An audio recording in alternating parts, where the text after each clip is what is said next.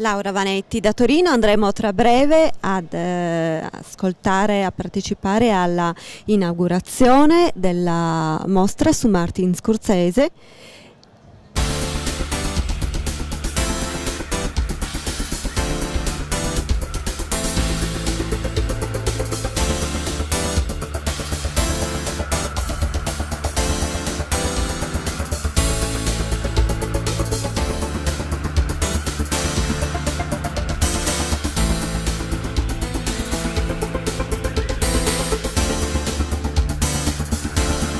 and are true cinema visionaries. And I'm thrilled that Gucci has provided such generous support know, making it possible for audiences to see these films beautifully restored and as vital today as when they were made.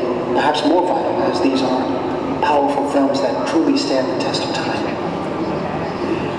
Because film is an art form that is particularly vulnerable to deterioration and decay, I started the Film Foundation with my fellow directors to raise awareness and raise funds really, for the film preservation projects.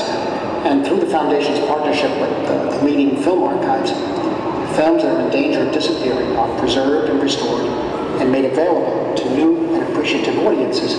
At last count, I think we've seen about 525 films, from studio features to documentaries, from newsreels to avant-garde works, that's a lot of films, but there are still innumerable films in dire need of preservation.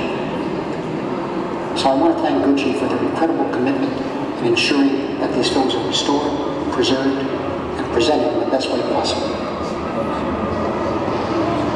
Allora, grazie, grazie di nuovo a tutti.